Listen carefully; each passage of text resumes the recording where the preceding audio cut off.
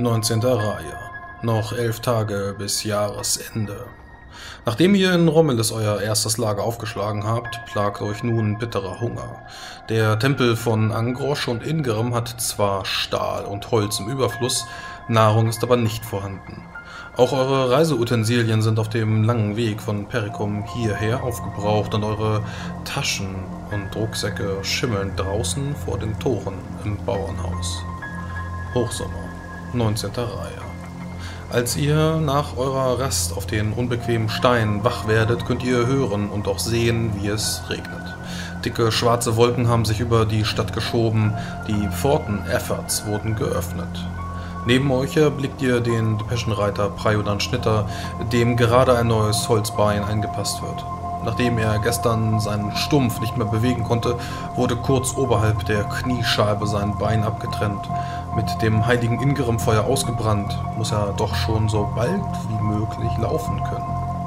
Zoltan vom See steht bereits am Ausgang des Tempels, angelehnt an einen Balken und schmaucht seine Pfeife, bevor er zu seiner Patrouille aufbricht, zu seiner Wache. Und so beginnen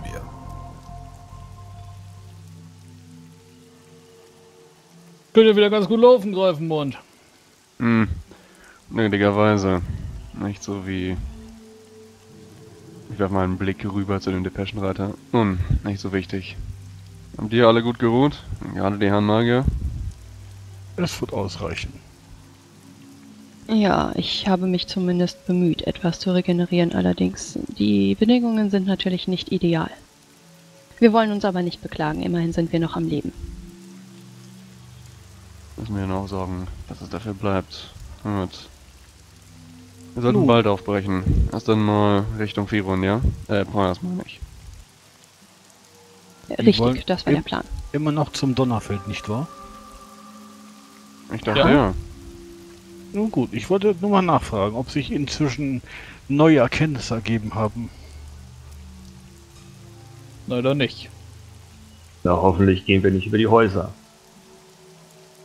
Nee, zwischen den Häusern durch, versuchen uns durchzuschlagen und hoffen, keine Patrouille zu treffen. Mhm. Und wie der Donnerfeld überwacht wird, müssen wir vor Ort gucken.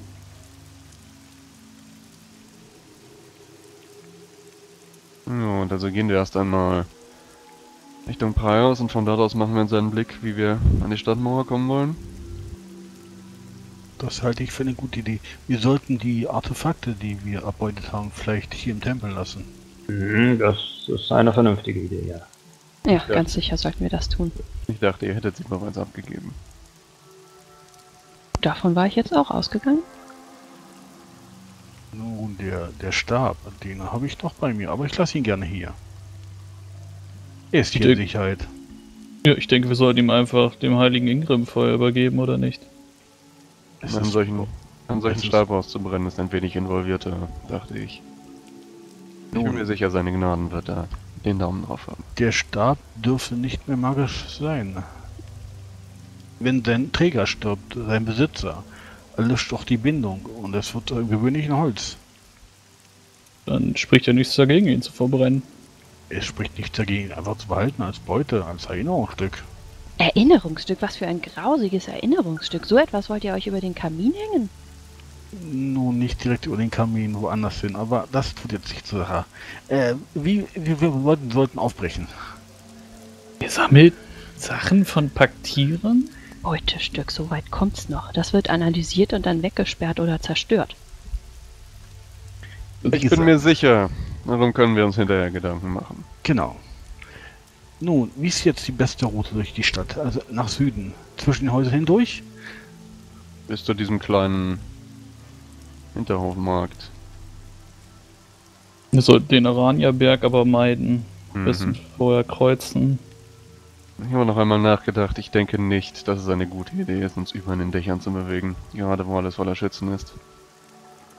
Ich ja. Nicht alle so gut sind äh, in der vertikalen und horizontalen Bewegung über sich, ja, vermute ich. Das auch. Ich kann auch aktuell nicht gut klettern, nicht mit meinen Armen immer noch in dieser Verfassung. Gut, gut, wir klettern nicht. Was machen wir dann? Gleichen. Uns ruhig bewegen, nicht rumschreien, hoffen nicht entdeckt zu werden, irgendwie zum Donnerfeld durchschlagen. vor Ort. Informationen einholen und dann gucken. Vielleicht sollten wir uns vorher eine Strategie überlegen, falls wir auf Patrouillen stoßen, denen wir nicht nun ja ausweichen können. Wir sollten uns aneinander halten.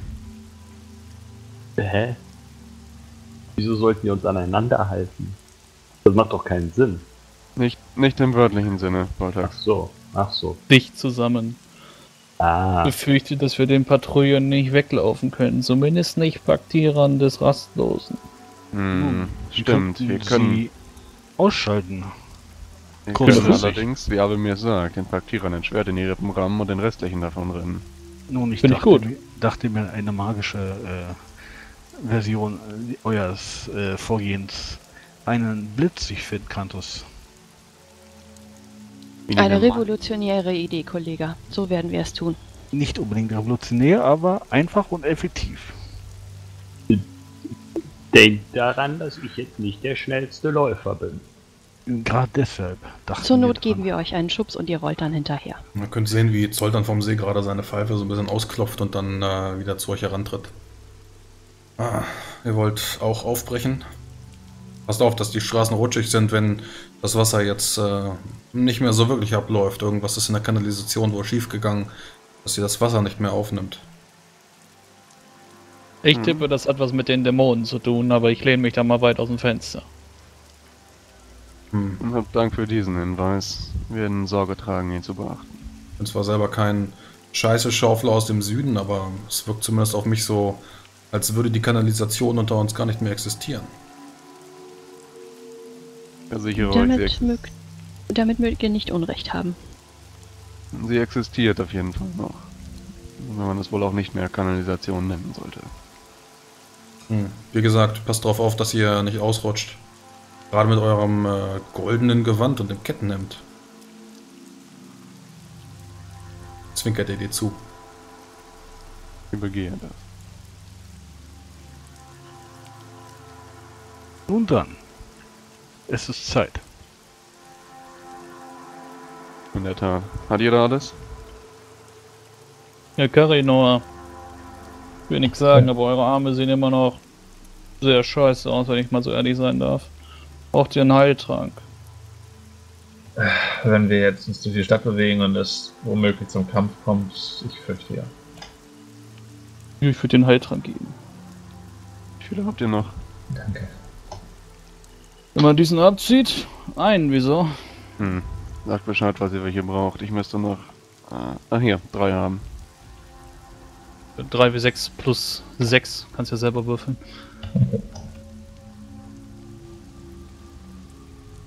Nun, äh, wir sollten uns noch eine Strategie überlegen, wenn doch etwas schief geht. Ein Punkt, an dem wir uns wieder treffen. So etwas in der Art. Hm. Eine Möglichkeit, Feinde abzuschütteln. Und der offensichtlichste ist natürlich hier der Angrasch-Tempel, aber der ist weit weg von unserem Ziel. Wir müssten einen Punkt finden, an dem wahrscheinlich weniger Patrouillen sind. Denkt ihr, am geschändeten Zartempel wären mehr oder weniger los? Befürchte, dass in der Nähe von allen geschändeten Tempeln zumindest sich die Dämonen doch versammeln sollten, oder nicht? Nicht unbedingt Dämonen, aber äh, zumindest die Tempel wurden ja in den Fokus genommen von den Feinden. Von daher würde ich die Tempel, so leid es mir tut, gerne vermeiden. Das äh, sehe ich ähnlich. Wir können versuchen, uns weit genug weg vom alten Bohrensanger zu treffen, sodass wir nicht auf die Untoten treffen und nah genug dran, sodass die anderen Unholde dort sind. Wie wäre es mit dem Brunnen südlich des alten Bohrenangers in diesem Innenhof? Haben wir echt Karten auf dem Tisch oder sowas? Ja, was hat er eine gezeichnet? Die war, glaube ich, auch relativ gut. Dann würde ich mal auf die Karte zeigen und dann auf diesen Brunnen deuten. Das scheint mir ein passabler Treffpunkt sein. Zumindest der Innenhof. Mhm. Und das ist schon das Beste zu sein, was wir haben. Falls wir weiter von dort weg uns bereits auflösen müssen, steht natürlich der Angrasch-Tempel näher. Ja, ja. Dass ihr diesen Kopf behaltet und nicht versucht, euch alleine bis zu diesem Monden durchzuschlagen. Im Fall des Falles zündet euer Lichtartefakt und bewegt euch dann vor und dort aus nach Süden. Dann könnten wir euch auch wieder finden. Ich meine, das zieht die ganze Aufmerksamkeit auf uns, aber bevor da irgendeiner von euch drauf geht. Nein, nein, nein, nein, nein. Im Falle eines Falles habe ich noch eine Idee. Ich habe doch in, in Zorgan noch diese zwei Schwadenbeutel hier gekauft. Dann auch für etwas Ablenkung sorgen. Klingt auch gut.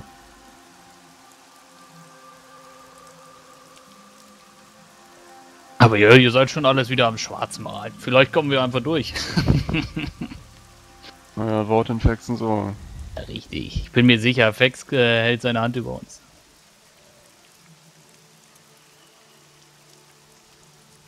Brechen wir auf. Stellen wir diese These doch zum Test. Gut, so könnt ihr aus dem Tempel heraustreten.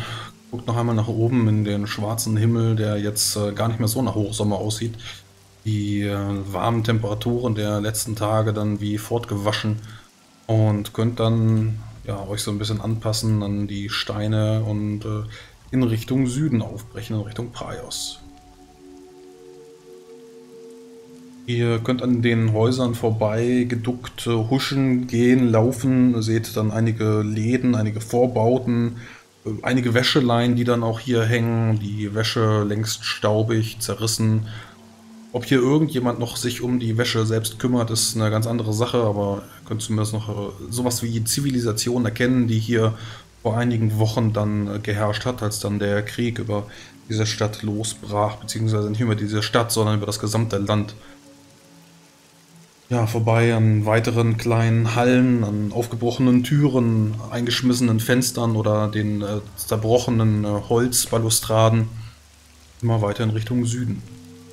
Bekomme bitte eine Orientierungsprobe. Von einem oder von allen? Von demjenigen, der euch anführt. Orientierung, okay. Ähm, Dann mache ich Ich kann 8 anbieten. Na, na, na, hier werden keine Werte genannt. Ab Also, sofort, nee, ab, also sofort Werte, ab sofort eine und die würfelt jetzt auch in die Box. Haut so voll. Also, Wer würde uns denn anführen? Ich nehme an, Daru führt uns an, weil er den besten Schleichenwert hat. Ja, das ist wahr, dann machen wir es. Oh, das wird nix. Okay, wenn er fortschritt, dann machen Kam wir die, kam die an? Bisher Nee, nicht. Ja, ich hab die daneben geschmissen, ich mach's nochmal. Ah, jetzt sind die Würfel weg, jetzt sollte es angekommen sein. Mhm, ganz ausgezeichnet. Chippy hast du auch nicht, den du verbrennen oder ausgeben könntest. Ja, und so äh, lauft ihr und lauft. Und äh, haltet euch so ein bisschen an euren Anführer. Ähm, wie lange möchtest du denn gehen? Immer mal wieder so einen kleinen Blick auf die Karte, Bis ich die auf- Chiaras bis ich neben auf dir die- aufrollt. Ähm, bis ich auf eine gepflasterte Straße treffe, das müsste der Zahnweg sein. Wenn wir da schon nicht ankommen, haben wir ein Problem. Hm. Und Du versuchst doch so ein bisschen Ausschau nach den äh, ganzen Straßenschildern zu halten, die für dich dann doch relativ neu sind. In anderen Städten von Aventurien gibt es das nicht, aber hier hat man dann Gott sei Dank doch äh, an so etwas gedacht. Äh, hat sich bisher im restlichen Reich noch nicht durchgesetzt. Wenn du dann auf einer Straße mal äh, triffst, ist das überhaupt eine Straße? War das mal ein Weg oder ist das nur noch Schlamm? Du schaust doch nach sowas wie Zahrweg oder Mehltauer Straße. Entweder sind sie abgerissen oder so sehr verschmutzt oder irgendjemand hat das ungastlich gemacht, äh, sodass du dann einfach weiter in Richtung Süden gehst. Und äh, irgendwann schleicht ihr auch an einer der Straßen vorbei, wischt euch dann der an so einem ja, ziemlich, ziemlich schmalen Häusergasse vorbei und äh, betretet dann auch so einen so einen kleinen Anstieg, also so ein kleiner, kleiner Berg, der dann nach und nach dann vor euch aufragt und nicht wirklich serpentinenartig, aber schon in geschlängelten Pfaden euch dann äh, nach oben führt. Hier stehen die Warum Gebäude rennen wir den Berg nach oben? nicht mehr so dicht aneinander, dass dann die Berg- Tarnung und das Abtarnen euch äh, wesentlich schwächer fällt. Renn den Berg nicht nach oben, der fängt doch hier erst an. Wo sind wir? Am Arania-Berg, seht ihr doch wohl. ähm, Mich auch an. aber warum? Ich dachte, wir wollten nicht zum Arania-Berg. Also, Dann ja, haben wir wahrscheinlich irgendwo eine falsche Abzweigung genommen oder sind zu weit gelaufen. Ist ja egal. Umorientieren, weiter geht's. Wir müssen vom Arania-Berg jetzt irgendwo. Ah, nicht nach Süden. dann müsste das hier hinter uns doch die Mehltaustraße sein, oder? Sucht Straßenschilder. Da liegt eins, aber das ist kaputt. Ich meinte an, an, an Gebäuden. So, da hinten sehe ich irgend so ein Tor. Da gab es auch ein Tor auf dieser Mehltaustraße, oder? Ich- Zum Hafen raus, denke ich. Gut, dann halten wir uns hier in den Häusern und gehen jetzt äh, in die andere Richtung. Also da, wo das Tor nicht ist. Warum sind Menschenstädte nur so umständlich gebaut? Weil sie überirdisch gebaut sind. Ja, sagte ich ja umständlich. Bei euch auf der Straße könnt ihr jetzt äh, leichte Trippelschritte hören. Irgendjemand nähert sich da sehr, sehr schnell. Hier irgendwo etwas zum Verstecken. Äh, also Häuser, die dicht an dicht stehen. Vielleicht kannst du dich dann auch ja, neben eine dieser, dieser Wäscheleien stellen oder du springst dann durch ein kleines Fenster nach drinnen oder trittst dann durch eine Tür nach drinnen. Aber aktuell steht ihr auf einer großen, breiten Straße, die ungefähr vier Meter breit ist. Ja, das macht den. da rausgetreten? Sind wir dumm? Das ist allerdings eine berechtigte Frage. Ich Du kenne hast da nicht die also- will aus nicht wir gekommen sind. Du hast geführt, irgendwie seid ihr dann äh, an den Straßen vorbei durch und irgendwann wart ihr. Also du, du sagtest wohl, das ist der Ja, Arania Du hast keine Ahnung, wo du bist. Zurück in die Gasse, wo wir gerade gekommen sind. Wer ist da an. Ja, die Trippelschritte werden lauter, hallen wohl aus dem Limbus oder so etwas nahe und äh, dann verhallen sie vor euch. Ist alles still. Als ob es aufgehörte, sich zu bewegen. Dann würfelt mal eine sich verstecken Probe. Ja, das können wir doch. Kann ich überhaupt nicht. Ah, das können wir echt. Aber hast du es nicht gesteigert? Ja, das Problem ist bei solchen Proben, dass es nicht darauf ankommt, wie gut du bist, sondern wie gut alle anderen sind. Also, Ja, wenn sie mich nicht sehen, werden alle anderen zuerst gefressen. Also so ein kleiner Vorteil besteht schon. Ja, Kiaras bleibt so mit seinen äh, Verbänden links und rechts so ein bisschen hängen. Du hast zwar den Heiltrank von Rafim getrunken, aber dann nicht wirklich daran gedacht, die ganzen Verbände auch so, so abzumachen, dass sie dich dann nicht behindern, sodass du dann äh, von deinem Versteck äh, so eine Spur aus Verbänden dann zu dir hinziehst. Bist da wohl irgendwie an einem, an einem abgebrochenen, abgerissenen Nagel festgehangen und äh, die Spur führt halt direkt jetzt in die Gasse bzw. das Gebüsch, das ihr euch gepirscht habt. Scheiße.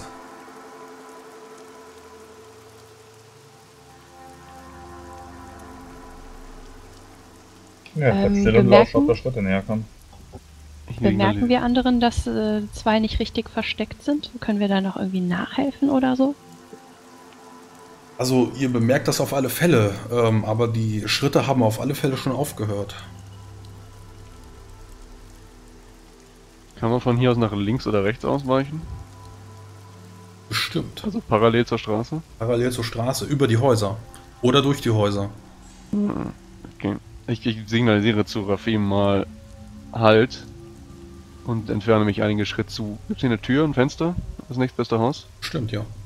Dann möchte ich einige Schritte dorthin bewegen und dann mal heranlinsen, schauen, ob die offen ist. Aufgebrochen. Dann winke ich den anderen nahe, den Magiern zuerst und dann Rafim. Ja, ich würde mich schleichen, tief, fast tiefste Gangart in Richtung ja Jallen bewegen. In dieses aufgebrochene Portaltür. Und durch. Ins Haus. Ja, ich würde auch dieser Aufforderung Folge leisten. Ich auch. Ich würde Karinor signalisieren, geh vor. Wer ist der Ich Letzte? zuletzt. Ich. Du bist der Letzte. Ja. Dann kannst du, während du dich noch durch das Fenster dann durchschiebst, kannst du eine kleine Kreatur erkennen. Du dachtest zuerst, dass es ein Kind ist. Dann siehst du allerdings, dass wohl die Augen leicht verrutscht sind und äh, verlaufen. Dass der Mund wohl auch sehr zahnbewehrt ist. Der Kiefer wohl auch rausgebrochen oder zerbrochen. Äh, irgendjemand hat ihm da wohl eine Axt ins Gesicht geschlagen, sodass der dann äh, ja aufgespalten ist. Ein verzerrtes Maskengesicht, falls, fast als ob es aus Wachs bestünde. Und ähm, bist komplett irritiert, als du dich dann durchschiebst und vielleicht auch noch so, so ein bisschen fasziniert, entrückt, als du dann auch die, die Fensterläden dann schließt, einfach nur um diesen widerlich starrenden Blick von dieser Kreatur dann loszunehmen. Du guckst ihm auch so ein bisschen in diese, in diese verrutschten, verzerrten Augen und du siehst zwar sowas wie eine Pupille oder wie, wie ein Augenlid, aber das liegt tief und weit dahinter. Die anderen können sich gerade in dem kleinen Gebäude umsehen und ihr steht dann in einem schmalen Flur ohne ein erkennbares Ende oder Türen an den Seiten. Seid ihr gerade reingeklettert? Vor euch könnt ihr eine feuchte Blutspur entdecken, die hier wohl beginnt, direkt an diesem Fenster von euch ausgeht, von euren, von euren Schritten gezogen wird, die nach links verlaufen und dann in einem 10 Schritt entfernten Loch im Boden enden. Was euch komplett irritiert ist, das Blut riecht nach Rosen.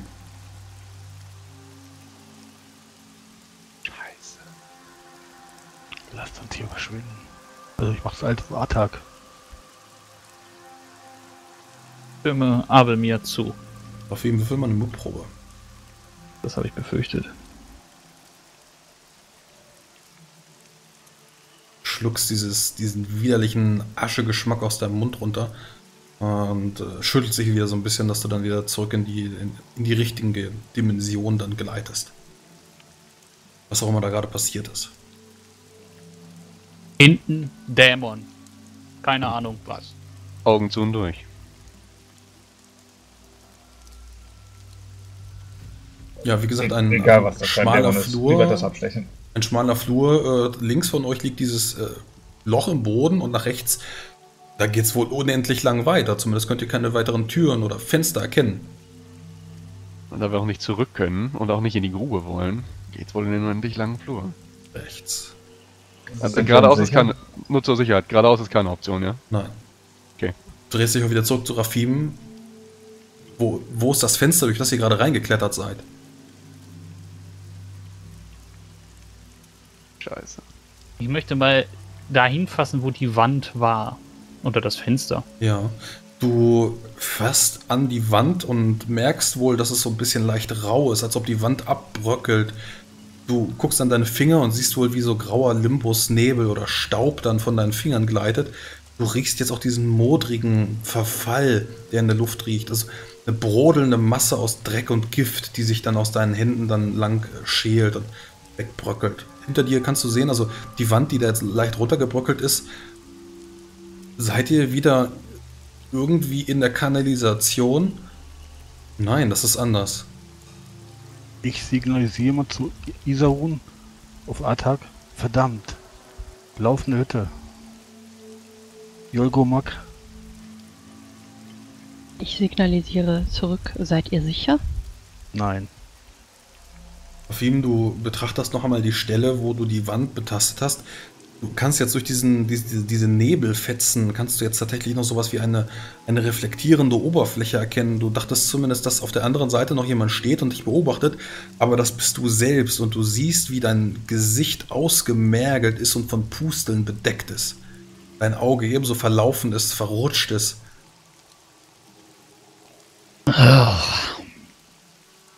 Nicht in die Wand gucken. Ich drehe mich davon weg und stelle mich mal neben Karinor.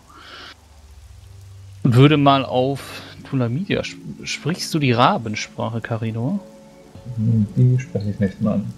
Sprichst du Mohisch? Ja. Würde ich auf Mohisch sagen, bleib bei mir. Das ist saugefährlich hier. Gut. Das dachte ich mir schon. Wir sollten diese Stadt wirklich einfach niederbrennen.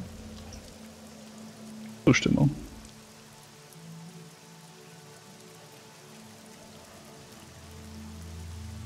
Wir sollten hier schnell verschwinden. Ja, aber wohin? Das ist eben das Problem. Aus. Zurück. Zurück können wir nicht, also vorwärts. Los jetzt.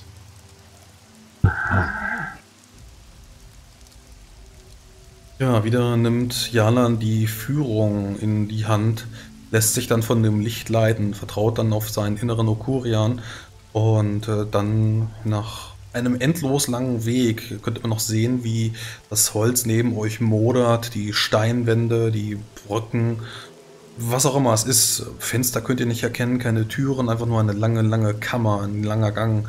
Und dann öffnet sich das Ganze und ihr steht in so etwas wie einem Tempel. Ist das ein Boron-Tempel? Zumindest könnt ihr sehen, wie es diese, diese typischen Sarkophage an diesen äh, Wand, Wandaussparungen gibt. Eine Kammer voller Käfige, die hier herunterhängen. Einige, die meisten davon sind leer. In anderen könnt ihr dann Katzen oder Hunde erkennen, die hier eingesperrt sind. In einem könnt ihr noch einen, einen alten, kleinen, nackten Mann erkennen, der euch anlächelt und winkt.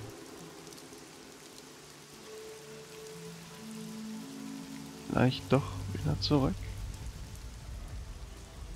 Und in das Loch? können wir kaputt hauen. Drehen wir es um. Ich drehe mich mal um. Ist der Gang noch zu sehen? Hm, Du siehst auf alle Fälle, wie du aus einem, ja, aus einem Gang gekommen bist. Ungefähr 10 Meter hinter dir kannst du dann eine Tür erkennen und der auch so ein typisches ähm, Symbol, so ein Boronsrad zu erkennen ist. Und da geht es wohl zur Sakristei, würdest du meinen. 10 Meter hinter euch. Ich, achso, wie, der Gang ist verschwunden, aus dem wir gekommen sind, oder? Naja, also du, du siehst jetzt, wie sich jetzt nach und nach alle rausschieben. Chiaras, Rafim ist der letzte und ja, wie auch immer jetzt, also der lange Gang existiert nicht mehr. Du siehst dann, wie nach 10 Metern dort die, diese Sakristei anfängt. Wir sollten hier ganz schnell verschwinden. Nein, wirklich. Wie Abel Mia. Ihr seid der Magier, bringt uns hier raus. Wie sieht dann dieser, dieses kleine Männchen aus? Äh, so aus wie ein Grolm oder? Nee, es ist ein äh, alter Mann, ziemlich nackt. Äh, du siehst dann auch, wie, wie er so versucht, so ein bisschen mit, den, mit seiner Hand dann sein Gemächt zu bedecken. Äh, sitzt da auch abgemagelt. Äh, gut, jetzt, wie gesagt, er lächelt und äh, scheint da zahnlos euch dann zuzuwinken, sagt aber nichts. Ist da wohl in, in aller Stille dann und ehrt diesen Ort. Immerhin ist es ein Boron-Tempel. Kannst dich so ein bisschen orientieren. Du siehst dann äh, links neben dir eine Treppe, die nach oben führt. Vielleicht steht ihr wohl gerade in den, in den Kavernen, in den Katakomben. Ich lasse mich nicht täuschen. Ich gehe den Weg zurück, den ich gekommen bin und taste vorwärts mit der Hand die Wände ab. Ob ich merke, ob ich auf Widerstand treffe oder nicht. Mhm. Fühlt sich sehr kalt an, sehr glatt. Du kannst ja gerne mal Baukunst würfeln. Gerne.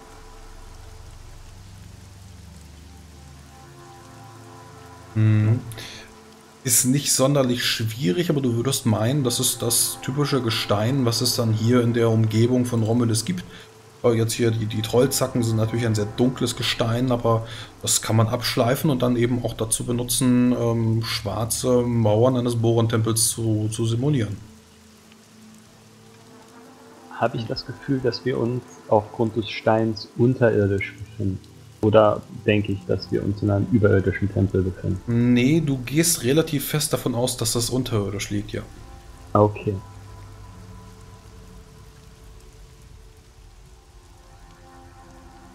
Glaube, wir befinden uns in einer großen Illusion. Wir haben diese Ebene nicht verlassen, sind trotzdem anscheinend unterirdisch. Oder Macht was. wir wurden in Limbus geschickt. Ja, habt ihr dieses Wabern vorhin bemerkt? Das war schon sehr typisch.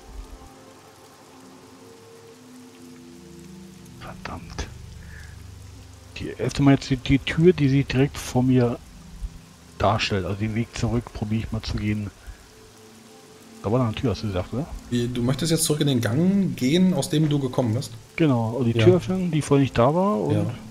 Ja, du stehst, äh, öffnest die Tür, ähm, ist wohl so ein bisschen schwierig, aber kannst sie dann aufschieben und siehst dann, wie vor dir so ein, so ein Altar ist aus grauem Stein, auch sehr glatt, einigen Boronsrädern darin und äh, siehst dann verschiedene Regale mit alchemistischen Rezepturen, die wohl dazu dienen, dann hier Leichen zu konservieren.